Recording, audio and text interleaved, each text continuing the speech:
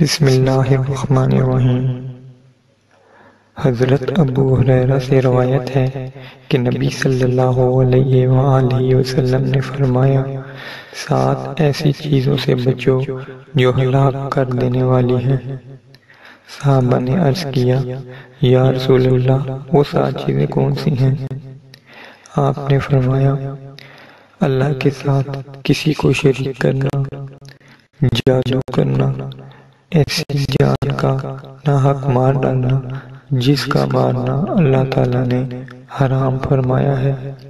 सूद खाना, यतीम का माल खाना और जंग के रोज पीठ दिखाकर भागना और बुरी भाली और मासूम औरतों पर तोहमत लगाना।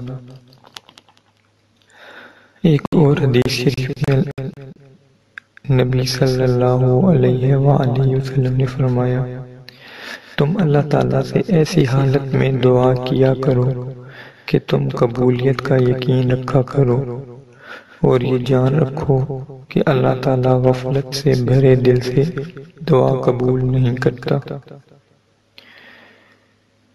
हज़रत मोहम्मद सल्लल्लाहु अलैहि वसल्लम ने इरशाद फरमाया जो शख्स अपने भाई मुसलमान को, जिसमें कुफर की कोई वजह न हो, काफिर कहे तो खुद काफिर हो जाता है।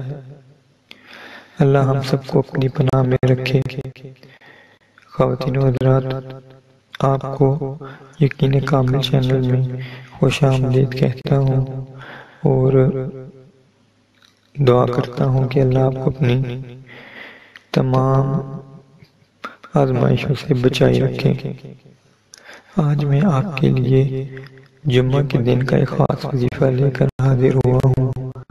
इस दिन के वजीफा से इंशाल्लाह आपकी कोई दुआ रद्द नहीं होगी।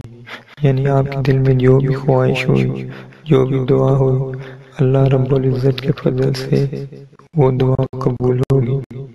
अमल बहुत ही छोटा है। और मुख्तसर है और इस अमल के पढ़ने में आपकी मुश्किल तीन मिनट लगेंगे। ये अमल आपने जुम्मा वाले दिन ईशा की नमाज़ के बाद करना है। वजीफा का तरीक़ाकार बताने से पहले मैं आपको याद दिलाता चलूँ कि अगर आपने चैनल को सब्सक्राइब नहीं किया तो सब्सक्राइब कर लें। के निशान को ज़रूर दबा दें, ताकि नई आने वाली वीडियो का नोटिफिकेशन आप तक आसानी के साथ पहुँच सके।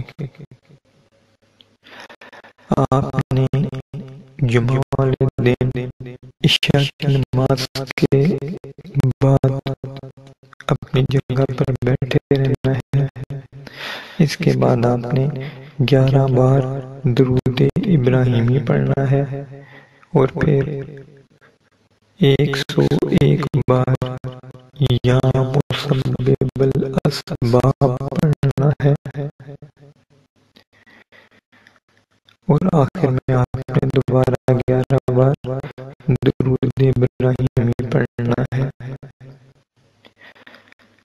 एक दफ़ा आपको दोबारा बता दूँ कि आपने जुम्मा वाले दिन ईशा की नमाज़ के बाद ग्यारह बार दरूद इब्राहिमी पढ़ना है।